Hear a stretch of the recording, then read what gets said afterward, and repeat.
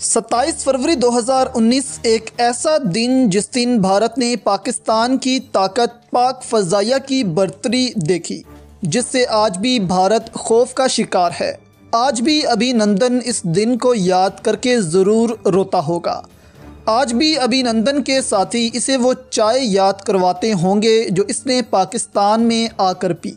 इस दिन दुश्मन ने एक नाकाम स्ट्राइक करते हुए पाकिस्तान की पाक सरजमीन पर अपने नापाक कदम रखने की ज़रूरत की और दरख्तों पर अपने बम गिराकर चले गए। लेकिन पाकिस्तान ने किसी जानी नुकसान के बावजूद भी ये फैसला किया कि भारत से इसका बदला ज़रूर लिया जाएगा। और अगले ही दिन पाकिस्तान के जे एफ़ सेवनटीन तैयार हो गए दुश्मन की सरजमीन में घुसने के लिए।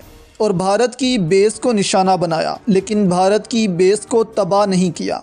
सिर्फ़ और सिर्फ़ भारत को ये दिखाया कि अगर हम चाहें तो इस मिलिट्री बेस को निशाना बना सकते हैं, जिसमें भारत के बड़े कमांडर्स या ये भी कहा जाता है कि भारतीय आर्मी चीफ मौजूद थे।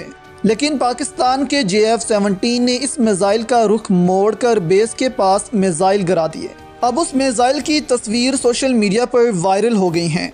ये तकबीर आरी के गाइडेड बम था, जो इंडिया की मिलिट्री बेस पर चलाया गया, जिससे भारत काँप उठा था। और दुनिया भर में पाकिस्तानी जहाज़ जे एफ़ सेवनटीन का नाम रोशन हुआ। और आज हर मुल्क इस त्यारे को ख़रीदने की बातें करता है। और कई माहदे पाकिस्तान कर चुका है।